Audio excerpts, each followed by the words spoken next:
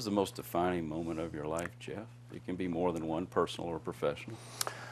Uh, probably the birth of our first son. I think uh, we had uh, uh, was drafted by Atlanta and uh, went to camp, training camp, and uh, went through training camp. It was six preseason games back then, and made the team for the very first game. And uh, and then I was cut. Uh, Norm cut sent me to Huntsville, where I played in the in the American Football Association minor league football. They call themselves professional league. I'm sure he wasn't very professional, but but it was a lot of fun. And uh, the day I was cut, uh, Dee Dee found out she was pregnant with uh, Oh, Bo, wow. our oldest boy.